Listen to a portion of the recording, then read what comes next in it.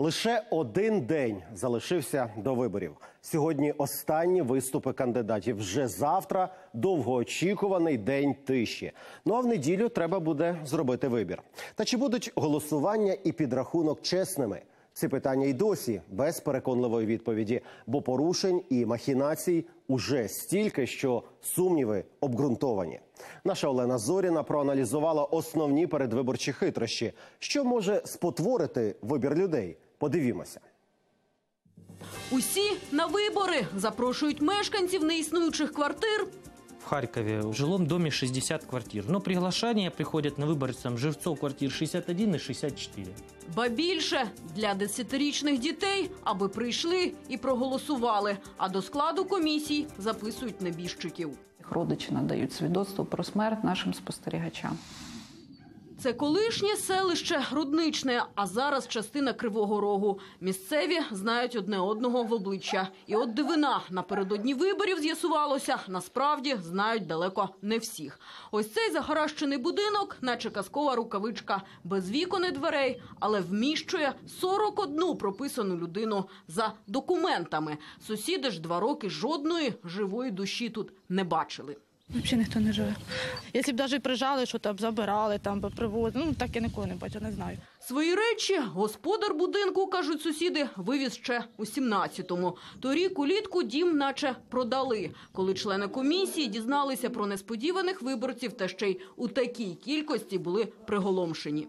Ми розрізали запрошення, виявили, що на адресу вулиця Ронична, 11 було зареєстровано 41 особа. Хтось перевіряв, чи насправді ці люди проживають там, чи знає їх хтось. Це не в компетенції комісії. Хто їх прописав і коли це сталося, ніхто і гадки не має. Я їх не приписувала. Запрошення однесли отак на хату. Ну там же ж ніхто не живе, там же ж нікого немає. Чи будуть вони голосувати? Поки питання, але ближче до 31 березня кількість виборців у хаті рукавиці зросла ще до 43. У громадянській мережі опора кажуть, такі випадки на Дніпропетровщині не поодинокі. Є будинки приводи, велика кількість там, наприклад, за адресою гуртожитків, е, на лікарнях міст. А це вже Київ і звичайнісінький будинок у спальному районі, бо навіть два з однаковою адресою. В одній із квартир зареєстровані майже три сотні людей. А в 101 не знаєте, хто живе? Заходите, узнаєте. Поштова скринька заповнена кореспонденцією, можливо, і запрошеннями на вибори. Їдемо знайомитися з виборцями. 97, 99, ось вона. Нові металеві двері, але за ними навіть миша не шарудить. Майже 300 людей, а нікому двері відкрити.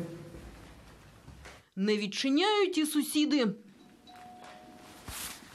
Цей будинок останніми днями став дуже популярним серед журналістів, каже ось цей чоловік. Це вже п'ятий. І в розмові зізнається, квартира рукавичка в цьому будинку, навіть в цьому під'їзді, не одна. З мене по сусідству прописано 100 чоловік. І то я їх ні одного не бачив. А кудись заявляли про те, що ви? Ні. А чому? А що я должен заявляти? А якщо до мене будуть прописуватися так, що я не пропишу? Про цей добре налагоджений бізнес знає не тільки він, а й сусіди.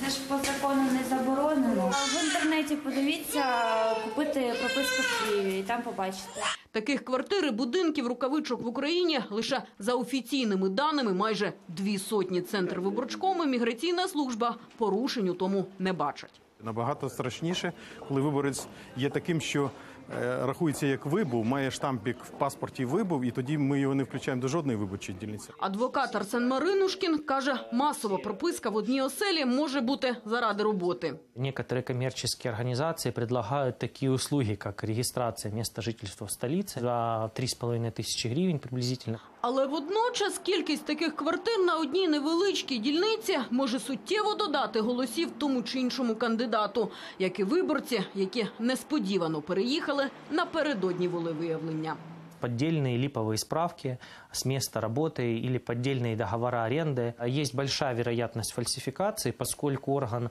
э, ведения избирателей значит, не обязан проверять подлинность таких документов. Але дізнатися про ці багатоходівки можна тільки в день виборів. В основі історії нинішньої передвиборчої кампанії класичні сюжети. Тут тобі і сучасна версія казки про рукавичку із сотнями виборців в одній квартирі, і продовження знаменитого роману Гоголя про Чичикова.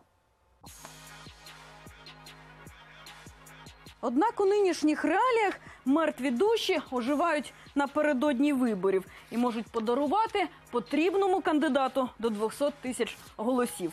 Технології не нові, але дієві. Головна інтрига, чи ці душі проголосують. У державному реєстрі виборців чимало одіозних імен, покійні ватажки бойовиків і навіть загиблий син президента втікача. Ті, хто померли від початку війни на окупованій території, а також у Росії. В списках виборців можемо знайти Гіві, Моторолу, Януковича молодшого. Чи можна оці мертві голоси використати реально на виборах? Теоретично, так. Да. Тобто громадянин вступає в змову з членом комісії, отримує два бюлетені і вкидає ці два бюлетені у виборчу скриньку. Коригувати реєстр без документів про смерть не можна, кажуть у Центрвиборчкомі. Але це не означає, що небіжчики під час голосування оживуть. На тимчасово окупованій території не здійснюється функціонування ні органів державної влади, ні органів ведення реєстру, і тому там немає кому подати цю інформацію. Ніхто не буде голосувати за інших виборців, тому що ви знаєте, що це є кримінальна відповідальність. Не так страшні мертві, як живі, ті, що працюють за кордоном, каже координатор виборчих програм громадянської мережі опора Ольга Айвазовська. За офіційними даними, це близько 4 мільйонів українців, тоді як на консульському обліку лише півмільйона. Якщо бюлетень видадуть родичу заробітчанина, може дійти й до анулювання результатів на дільниці. Якщо буде встановлено, що 5% осіб на цій дільниці отримали бюлетені в незаконний спосіб, наприклад, за тих виборців, які перебувають за кордоном, або за родичів, які не прийшли в день виборів самостійно, тоді на цій дільниці не можна визнавати результати виборів. Село Серники на півночі Рівненщини. Аби видати бюлетень, тут кому треба, варто добряче все перевірити. Моє прізвище Полюхович і чоловіка мого Полюхович.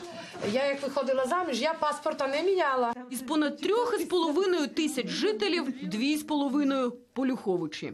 Є люди, які мають прізвище Плюхович Іван Іванович. і Таких є 38 чоловік. А є Плюхович Микола Миколайович. Їх таких 44 є. І не всі вони родичі, просто прізвища однакові. Семеро полюховичів працюють у сільраді. Військовий Плюхович, Плюхович Оля Григорівна, землепорядник Плюхович Іван Ілліч, соціальний працівник не хотіло вивіски Плюхович Наталія Миколаївна. 14 із 17 члени виборчої комісії. Моє Полюхович. Полюхович Слава Федорівна. Полюхович Тетяна Миколаївна. І 75% виборців теж полюховичі, але відрізняти їх вже навчилися. Аби не плутатися, на кожному запрошенні пишуть поруч із прізвищем прізвисько. В селі ж коло кожної хати прикріплене прізвисько.